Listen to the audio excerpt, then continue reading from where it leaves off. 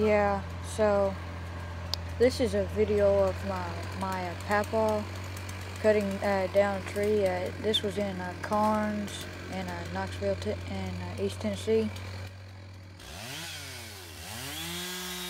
Sorry about my phone. This is the phone that I actually dropped in the toilet once, so it, it gets better here and there. Like when I zoom in, it'll do it for a second and then it'll just go away.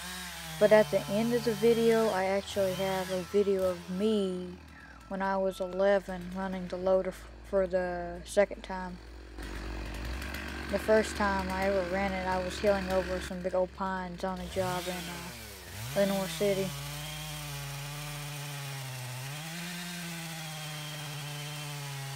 So I guess I'll shut up and let you guys watch the video.